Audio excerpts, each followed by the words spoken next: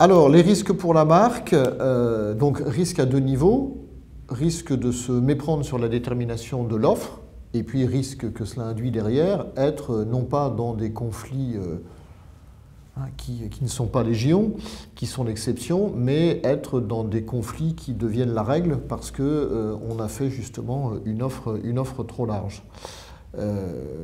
Qui veut prendre la parole sur ces, sur ces risques?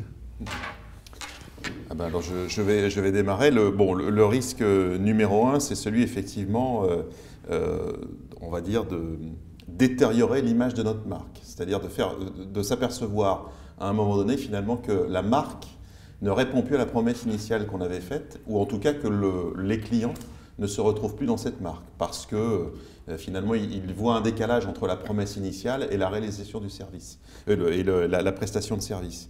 Je pense qu'un un point pour euh, éviter ce, genre de, phénomène, à, à travers le, thème de la générosité qu'on évoquait dans, le, thème précédent, en fait, si je l'interprète différemment, et parce qu'on le vit aussi, notre métier de prestataire de service, c'est probablement d'avoir un plateau technique euh, au sens large du terme, donc euh, l'infrastructure de service, le personnel en contact, etc., qui permettent à chaque client finalement de se constituer son propre service. Euh, vous l'évoquiez à travers la générosité sur le fait que je puisse boire euh, un ou plusieurs sodas, etc. Nous, c'est effectivement mettre des briques d'enseignement à disposition, une fois du face-à-face, -face, du e-learning, des bases de données, donner un cadre global et ensuite l'étudiant peut euh, ben, maximiser, minimiser la consommation de cette offre de service, la thématiser, bref, l'adapter à ses propres besoins. Je pense que ça, c'est un, une première réponse à éviter effectivement de, de détériorer l'image de marque et c'est dans la, ce que l'on peut percevoir aujourd'hui, c'est une tendance des prestataires de services à aller vers ce type de démarche. Alors effectivement, ensuite, que, que l'on cautionne avec différentes thématiques. Dans le cas d'OcoHotel, c'est la générosité qui est vraiment votre valeur fondatrice. Après, d'autres prestataires ont d'autres thématiques. Mais je pense que c'est important. Sinon, effectivement, euh, risque de détériorer l'image de marque, risque d'insatisfaction client, risque de baisse de fidélisation. Après, on va dire la, la, la chaîne cause-conséquence va se mettre en œuvre euh, sur des mécaniques qu'on connaît bien et qui vont être difficiles à, à rattraper.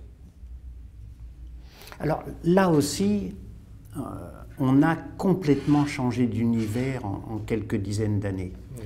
C'est-à-dire que dans les années 70, euh, une marque pouvait contrôler euh, son image mmh. et euh, pouvait raconter des histoires sur la satisfaction client. Aujourd'hui, c'est tout simplement impossible. C'est-à-dire que euh, en, en, hôtellerie, par exemple, euh, les clients sont invités à se prononcer dès leur séjour sur les sites de réservation par lesquels ils sont passés. Et nous, euh, notre obsession, mais nous et nos concurrents, enfin tout, tout le monde dans notre métier, euh, notre obsession, c'est quelle note ai-je chez Booking? Dans quel classement suis-je sur TripAdvisor?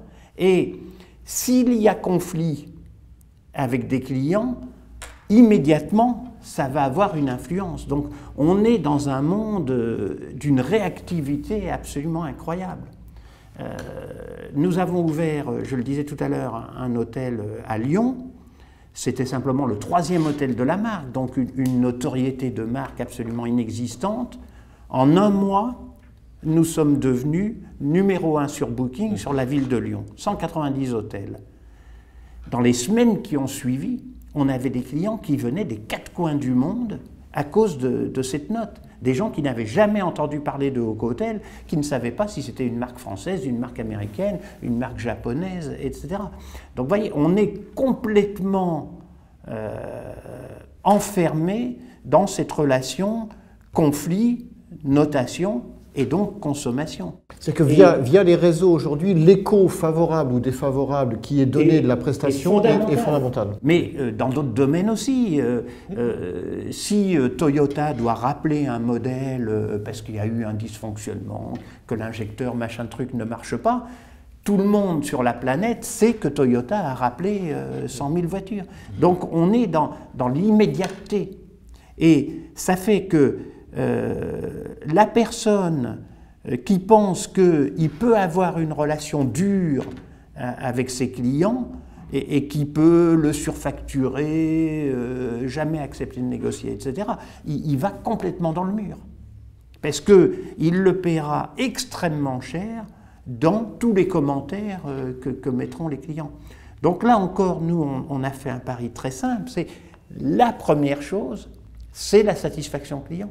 Parce qu'on sait que c'est à la base, demain, de votre taux d'occupation, de votre prix moyen, etc. etc.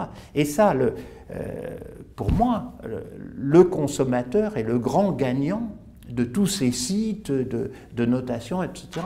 Alors les gens vont vous dire, oui, mais euh, ce sont des sites qui ne sont pas crédibles parce que vous invitez votre petit copain, il, met une note positive, etc. Mais là encore, la loi des grands nombres vient tout corriger. C'est-à-dire que dans les commentaires que vous avez, il y en a 5% qui correspondent, ou, ou 2% qui correspondent à vos copains, qui sont excellents, et puis il y a 2% qui, sont mis par vos concurrents, qui sont absolument dégueulasses. Une fois qu'on oublie ça, ça reste quelque chose de, très pertinent. Et, on est dans ce monde aujourd'hui, particulièrement dans, les services, mhm. complètement ouvert euh, en matière de, communication. Est-ce que cet écho qui est donné à la prestation permet aux marques de se repositionner plus facilement, d'avoir un pilotage plus fin? J'espère, j'espère. C'est-à-dire une personne euh, encore une fois, je ne parle que de l'hôtellerie, qui dirait Moi, je ne tiens pas compte de ça, il n'existera plus euh, dans, quelques années. Oui, effectivement, parce que ce type de mesure apporte des réponses à deux niveaux, c'est-à-dire le, problème opérationnel identifié, une insatisfaction, je ne sais pas, sur un comportement, sur un élément de la prestation qui n'était pas valable et qu'il faut corriger tout de suite, parce que ce genre de détail va être une traînée de poudre qui derrière va vous massacrer l'image de marque. Et je, mesure vraiment mes propos en, employant le terme massacrer. Et puis d'une manière générale, ça invite effectivement à une réflexion qui est plus stratégique, en disant mais finalement, est-ce que ce que l'on voit dans les insatisfactions, les remarques, les commentaires, les attentes, ne matérialise pas l'évolution des attentes d'un groupe de consommateurs, d'une société, société, dans son ensemble?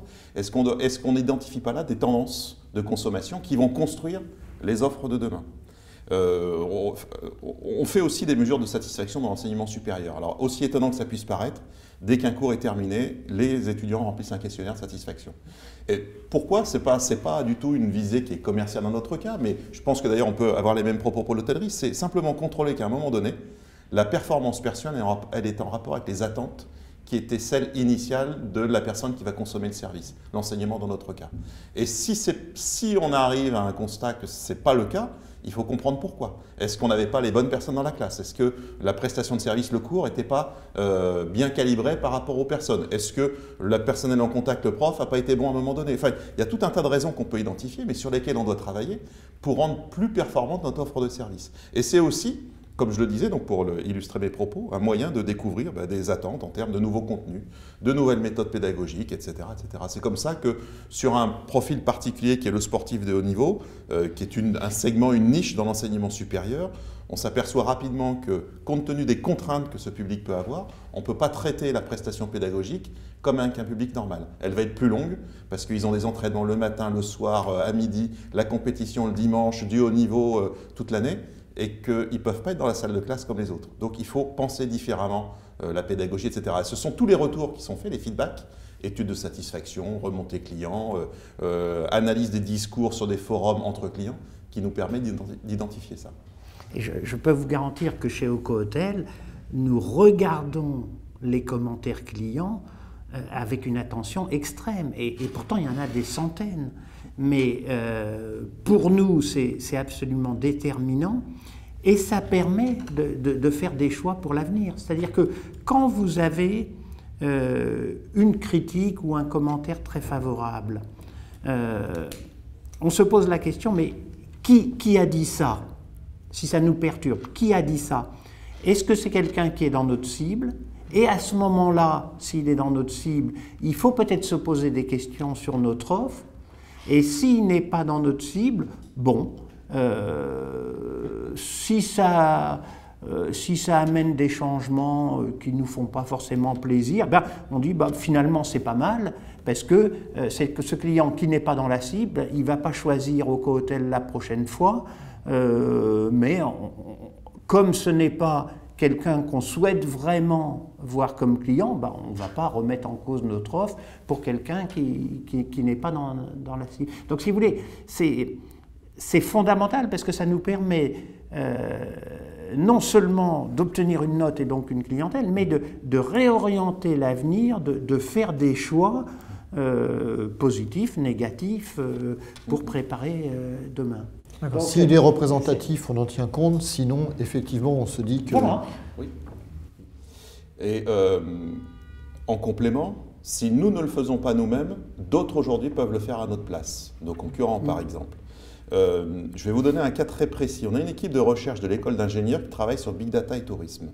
Donc on est proche du, secteur de l'hôtellerie.